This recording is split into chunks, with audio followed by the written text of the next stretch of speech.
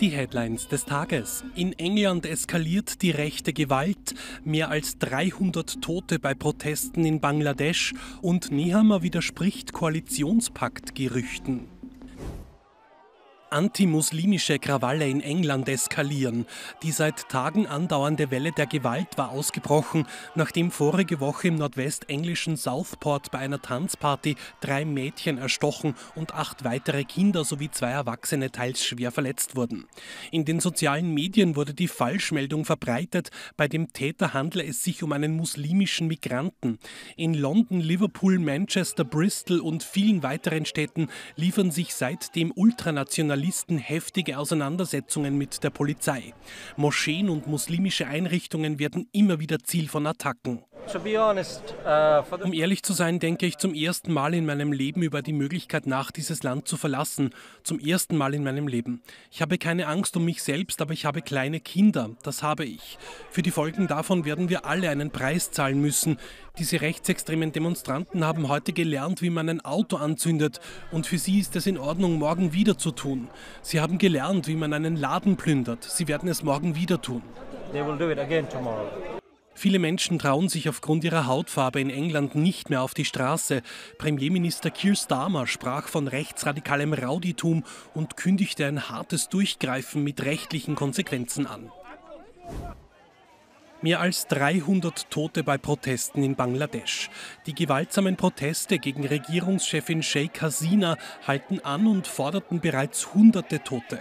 Am Montag hat ein wütender Mob einen TV-Sender eingenommen. Hasina soll laut mehreren Medienangaben nun zurückgetreten und bereits nach Indien geflohen sein. Tausende Menschen sollen ihren Amtssitz gestürmt haben. Laut Justizminister ist die Lage im Land äußerst explosiv. Er selbst wisse nicht, was noch geschehe. Das Innenministerium hatte am Sonntag eine Ausgangssperre verkündet, die auf unbestimmte Zeit gelten soll. Davon ließen sich die Demonstranten am Montag aber nicht abhalten und riefen zu einem Marsch auf die Hauptstadt auf, um den Druck auf Hasina zu erhöhen. Die Demonstrationen waren Anfang Juli aus Protest gegen eine Quotenregelung für den Behördendienst entstanden. Der Regierung von Hasina werden unter anderem der Missbrauch staatlicher Institutionen zum eigenen Machterhalt und die Unterdrückung von Regierungskritikern vorgeworfen, bis hin zur außergerichtlichen Tötung Oppositioneller.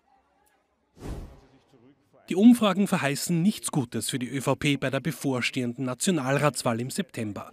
Die FPÖ liegt in Umfragen seit Monaten auf Platz 1. Bundeskanzler Karl Nehammer reagiert nun auf Spekulationen, wonach die ÖVP bereits mit der SPÖ und den Neos eine Koalition paktiert haben soll.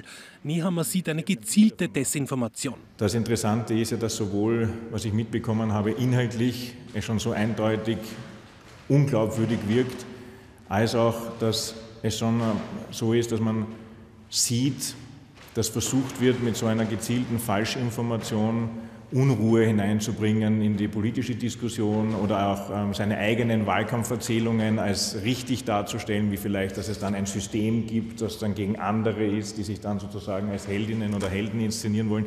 Der Kanzler würde es bedauerlich finden, wenn durch solche Falschinformationen Wahlkampf betrieben würde. Bei der Wahl Ende September glaubt Nehammer trotz gegenteiliger Umfragen an Platz 1. Weitere News lesen Sie 24 Stunden online auf kurier.at. Thank you.